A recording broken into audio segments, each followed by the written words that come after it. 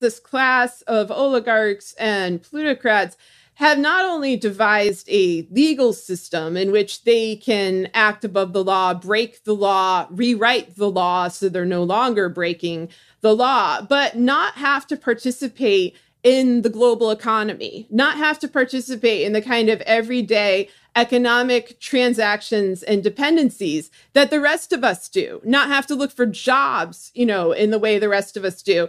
And you know what I'm going to talk about a bit later, I think, is the um, the breakdown of the global supply chain, which is becoming this huge crisis for all sorts of industries. But this particular class, this class of oligarchs and kleptocrats, they simply float above it you know and, and, there's no sign of this abating. The you know election of biden has not changed this in any meaningful way. It, it, in part because this is a matter of the justice system. It's a matter of an absolutely broken legal system. And you know you should listen to our old episodes where we interviewed jennifer taub about global corruption and about um, you know american dynastic kleptocrats, in particular the Sackler family, who recently were just deemed immune from prosecution. This is the family that, uh, you know, laughed and sneered as they murdered hundreds of thousands of Americans through opioids, through big pharma,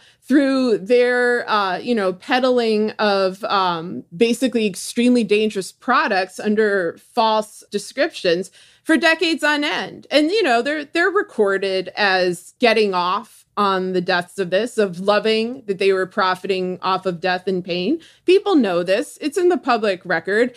And they're just declared immune. Like there's an entire caste that is just floating above us. And that is what Manchin and his daughter and his family seek to join.